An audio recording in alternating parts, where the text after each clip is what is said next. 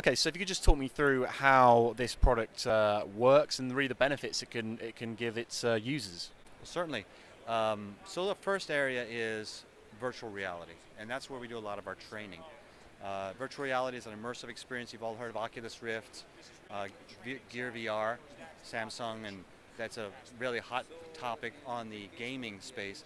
We were the first non-gaming partner with Oculus Rift many years ago, yeah. bringing it into industry.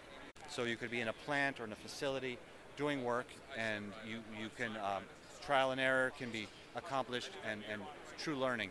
And the level of retention is tremendous in the virtual world. Um, crisis management training, we do a lot of work in offshore uh, facilities as well and onshore facilities in oil and gas. We'll replicate those and, and crisis-based training will be apparent there. Could this have a, it's fair to say, a very big impact then on, on, on the aviation sector? Oh, absolutely.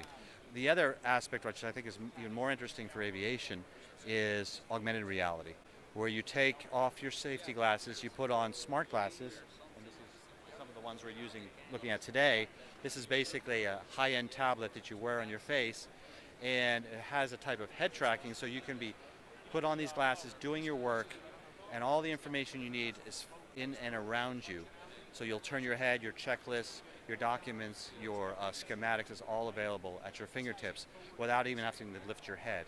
Also has a front-facing camera which allows you to do a video chat back to an expert in the office and he can see what you're seeing. He can annotate your field of view and allow that collaboration and actually push documents from the office that he needs to do his work and literally you just turn your head and they're floating in and around you.